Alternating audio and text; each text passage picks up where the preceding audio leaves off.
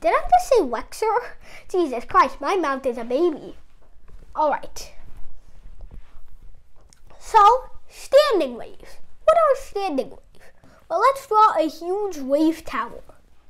Wave. Tower for wave power. All right. So, let's say, let's talk about the harmonics. The first harmonic is where you only have one antinode. What's it in? What is an antinode? Well, it's the node that moves the most from one cycle to another.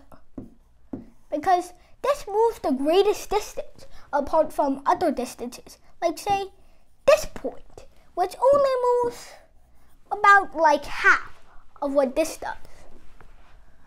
Right.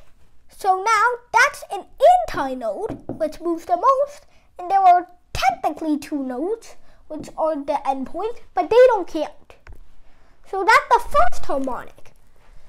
But there's only one trough and well one crest. So that means the length is always equal to one half the wavelength, or lambda. And lambda is always equal to 2l.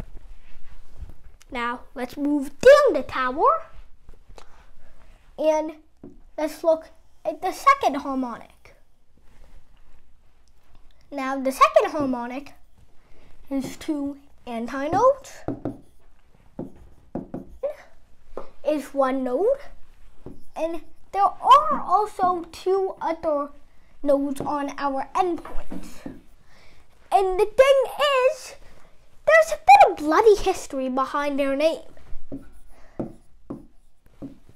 Node. So, basically, what happened? What happened that made it change its name? Well, originally, it was called a very boring name, no motion, by physicists of the 17th century. No, I meant 18th century. But the thing is, musicians of the time weren't really happy with the name. Didn't sound harmonic enough to them.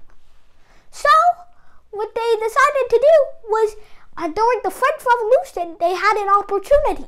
So, they started rioting on the streets. And then the physicians started uh, creating their own military and deploying it on the damn musicians. And a lot of people were killed. Physicists held up signs that said no to no, yes to no motion. But eventually, the musicians, the physicists conceded and gave the musicians what they wanted. Uh, a few musicians lost their heads to the Robespierre guillotine, but not that many. So, uh, it didn't get a Wikipedia page because not that many lost their lives. Anyway, it was changed from no motion to no D, node. And that's how nodes got their name. Thank you for the history lesson. Now let's get back to the physics. Is equal to lambda. The last kind of harmonic that normies like you can easily produce.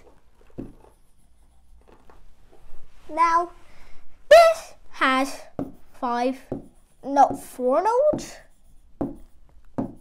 and three antinodes.